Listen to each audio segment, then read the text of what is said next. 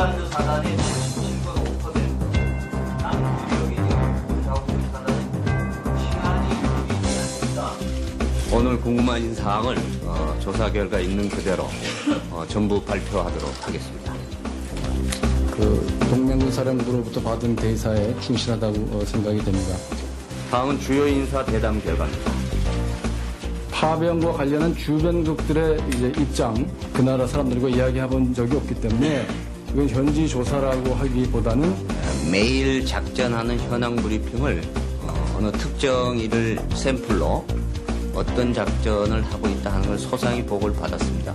모술에서 저희는 미군 헬기를 타고 시내를 약 20분간 내려다보았고 그 이후 미군 차량을 어, 타고 시내를 역시 약 20분간 관찰하였습니다.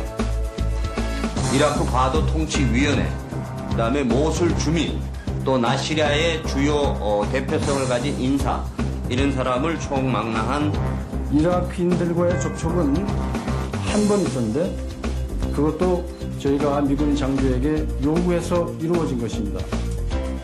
약 5분간의 대화가 있었는데요.